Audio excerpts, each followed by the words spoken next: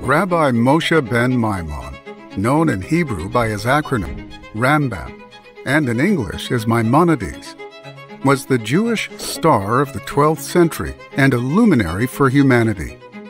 One of the greatest codifiers of Torah law and a giant of Jewish philosophy, he formulated a list of the 13 principles of Jewish faith, or as he described them, Judaism's fundamental truths and very foundation.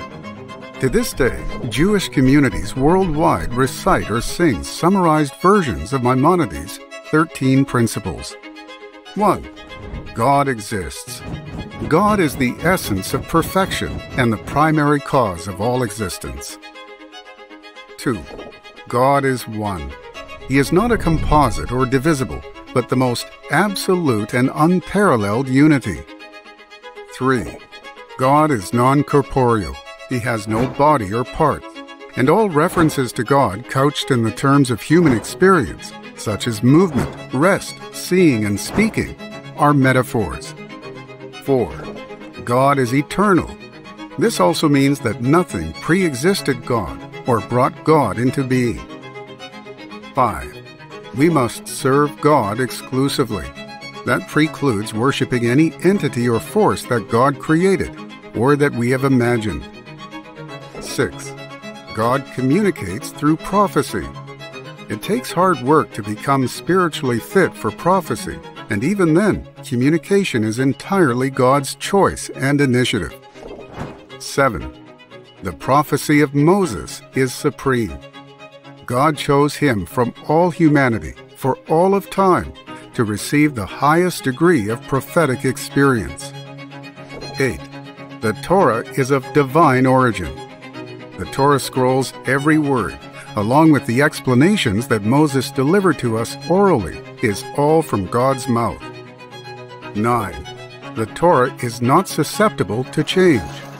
It was delivered by God in deliberate form and never can or will be amended in any way. 10.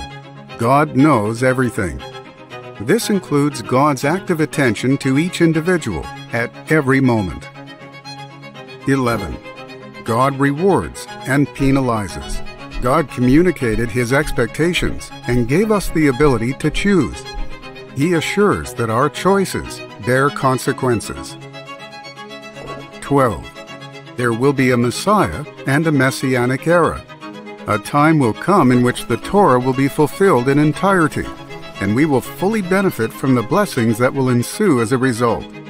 The Messianic era will be conducted by a mortal Messiah, a descendant of King David, who will become an unparalleled global leader.